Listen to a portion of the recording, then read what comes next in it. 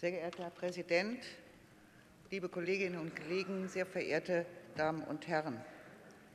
Ich möchte den Dank an alle Mitglieder der Kommission voranstellen. Wir haben gestritten, wir haben gelernt, also zu meiner großen Überraschung, Familie ist ein extrem emotionales Thema.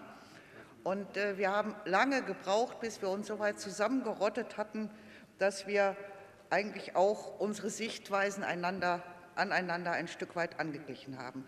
Und Heldin dieses ganzen Prozesses, und das sei mir gestattet, ist Frau Ingrid Hack als Vorsitzende, die es immer wieder geschafft hat, auch zerstrittene Positionen zusammenzuführen. Und ich finde, da hat sie eine Menge verdient.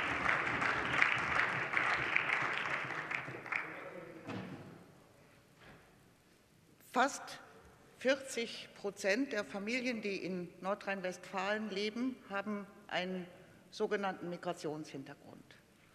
Sie haben ihre Wurzeln oder die Wurzeln ihrer Großeltern liegen nicht in Deutschland. Sie machen einen wesentlichen Teil Nordrhein-Westfalens aus. Und deswegen ist es mir ein großes Anliegen, darauf hinzuweisen, dass wir in der Kommission dieses Thema auch immer mitdiskutiert haben. Wir haben bei den Familien mit Migrationsgeschichte immer wieder mitgedacht, in welcher Situation sind sie betroffen und wo gehen sie jetzt mit um. Und wir haben eigene Handlungsempfehlungen entworfen, die sich speziell um die Belange der Familien mit Wurzeln in anderen Ländern gekümmert haben.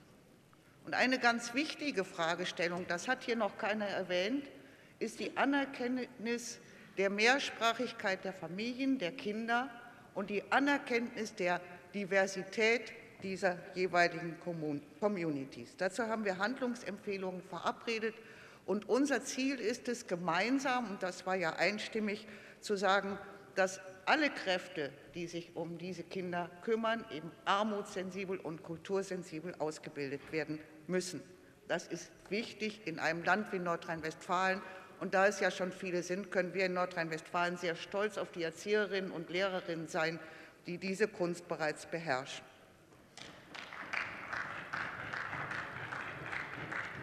Wir haben sehr viel gestritten, und auch das ist mir ein Anliegen, weil das jetzt hier der eine sagt äh, Gebührenfreiheit, der andere äh, sagt ja, also Familienfördergesetz und so weiter. Also wir haben sehr viel darum gestritten, wie gelingt es, dass wir zueinander kommen und dass wir uns um diejenigen Menschen in unserem Land kümmern, die unter dem Stichwort einkommensarm in unseren Städten leben.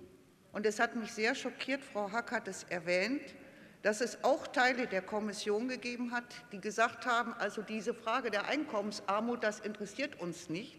Wir wollen lieber was für die Dörfer tun.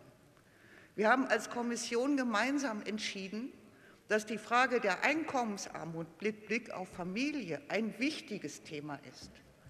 Wir haben sehr, sehr lange auch den Ergebnissen von Kekitz gelauscht und wir haben auch den Ergebnissen von Professor ähm, jetzt habe ich den Namen jetzt gerade nicht, Strohmeier, von Professor Dr. Strohmeier äh, gelauscht, der sehr deutlich macht, dass welche Folgen Armut und Einkommensarmut von Familien auf die Kinder hat und auch auf das gesellschaftliche Gedeihen. Und da ist es nur wichtig, dass wir uns gemeinsam darauf verständigt haben, dass wir auch die Quartiere, die Stadtteile, die Straßenzüge, in denen diese Menschen leben, dass wir die gemeinsam noch mal neu in den Blick nehmen und schauen, mit welchen Instrumenten gelingt es uns, da die höchste Qualität reinzubringen. Wie können wir unsere Stadtteile aufwerten, sodass sich Familien da nicht, sagen wir, nicht wertgeschätzt fühlen, sondern dass sie sich wertgeschätzt fühlen in ihren Stadtteilen? Wie viel Grün können wir in diese Stadtteile hineinbringen? Wie viel Bildung können wir in diese Stadtteile hineinbringen? Und wie kann es gelingen, das war eine ganz wesentliche Frage, die haben wir viele Stunden diskutiert, wie kann es gelingen, dass die Eltern und die Familien besser und stärker teilhaben können an Gesellschaft? Denn in einer Gesellschaft wie der unseren gelten diese Eltern zum Teil als abgehängt.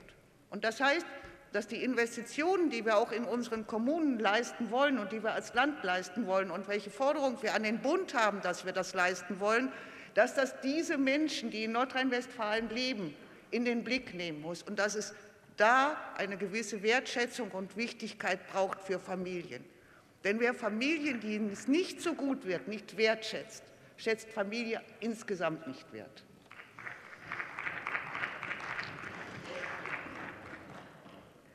Ich komme zum Schluss und bleibe auch noch mal beim Thema. Wir haben alle betont, wie wichtig uns Familie ist.